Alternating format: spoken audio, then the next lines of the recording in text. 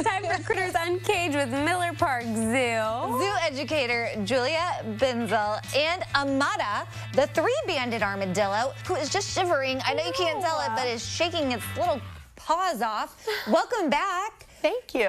Introduce us. This is Amata. She's a three-banded armadillo. She's named for those three bands right here. Those help her expand and contrast when she walks. Her little shaking claws, those are because she's so excited. she does, I know, she's as excited as we are. Uh, she does really well sitting here, but that's her telling me, let me run around. Let me find some insects, because that's what she eats, mainly ants and termites. She has a crazy strong sense of smell. She can smell a worm six inches under the dirt. Wow. Oh my goodness. W- Does she have like hair? It looks like she has, She has little gray hair. That's what tells us she's a mammal. So in her soft, squishy belly area, which is not offensive, I promise. Okay. Um, that's where her hair is at. And when they're born, they have hair all over their body, but then it hardens so that she has this armor, which is what they're named for. Armor, armadillo. Yes. Interesting. Are these, they, she can form into a full ball and roll, is that right? There are about 20 species of armadillo. There is one species of armadillo, Amata. Oh, that. that completely comes together and fits together like a little puzzle piece. And that's the three-banded armadillo. Oh Wow. And she can hold herself in that position for hours. She has crazy strong abdominal muscles. So um, if something's trying to eat her, they can't.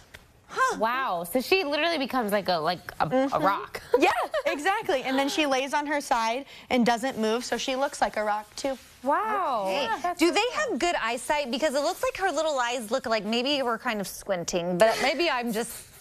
No, I don't know. You're very observant. Okay. Um, they're on the side of her head, and if you see, they're covered here by the sides of her front plate. Yeah. And then she has this plate on the front of her face. That's like a helmet.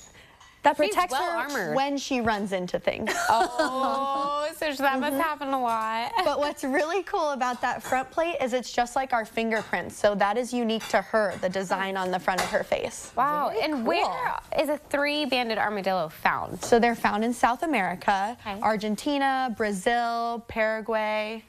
So not in Texas. No, that's a nine-banded armadillo. So if she's a three-banded, a nine-banded is Okay. like this big. Oh my goodness. Okay, well, I want to make sure we mention all of the fun things that you have happening at the Oh. zoo. Opportunities to come say hi to Amata because we are starting off with this week, the Pollinators Rock. What's happening? Mm-hmm. They are talking all things pollinators, showing what we have to promote natural pollinators and what our native pollinators are doing right now in the season at the zoo. Very Okay. cool. Also, Endangered Species Day. Yep, so that's filled with keeper talks and talking at exhibits about our endangered species. And there's a scavenger hunt that day with, I believe, some goodies if you complete it. Ooh, Very nice.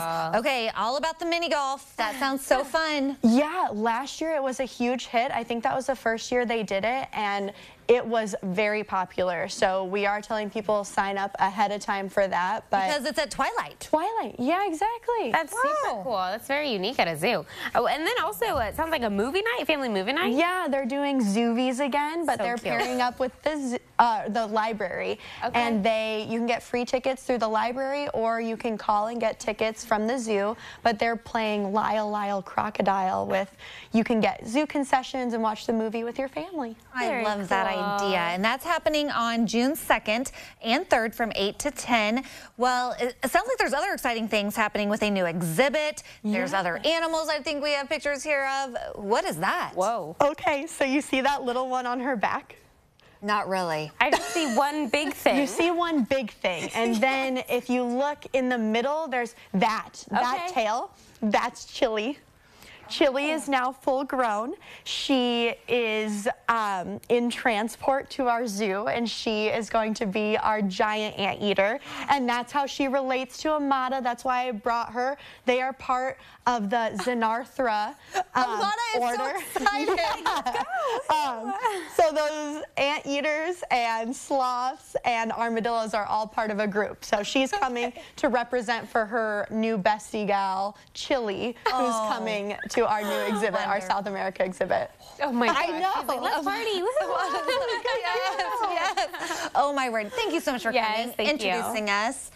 Lots of fun things happening over at Miller Park Zoo. There's a look at their website where you can learn more. And of course, we will connect you over on our website after today's show. All right.